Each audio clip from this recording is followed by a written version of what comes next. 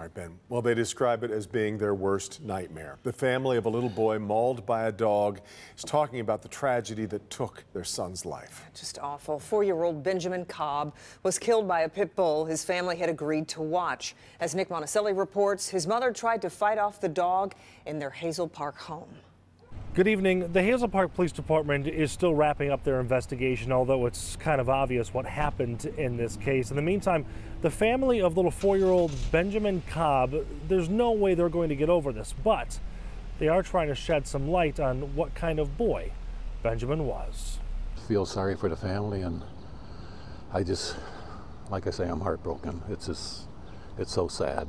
The neighbors on this normally calm and quiet street in Hazel Park want to offer comfort, but don't know how. It's heartbreaking. I just, there's no other words to describe. I have a four year old grandson, and I'm just about ready to bust in tears. It's so sad. Tracy Johns, who lives just four doors away from where Benjamin Cobb was killed, brought a sign this morning. We have um, Little Angel, prayers, love, rest in peace. Last night, just before 7, police got a 911 call from a 14 year old girl saying her brother, Ben, was being attacked by a dog and her mother was trying to stop it by stabbing that dog.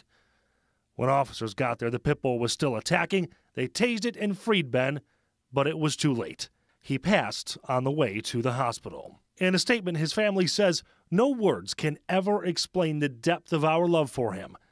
This has taken an unimaginable toll on our family, friends, and those who knew our sweet boy. A kind gesture to help a friend in a time of need for a dog that was said to have never shown aggressive behaviors has turned into a horrifying loss for our family. We have learned that we are far from alone in our struggle, as diligent and loving parents from all walks of life have suffered this catastrophic loss under similar horrifying circumstances. Now, after being tased, the dog ran from the home. It was later found by Hazel Park police officers. It was taken to a local veterinarian and euthanized. In Hazel Park, Nick Monacelli, Local 4. Hey, Nick, and during the attack, Ben's mother was also bitten by the dog as she was trying to save her son. She was taken to the hospital for treatment.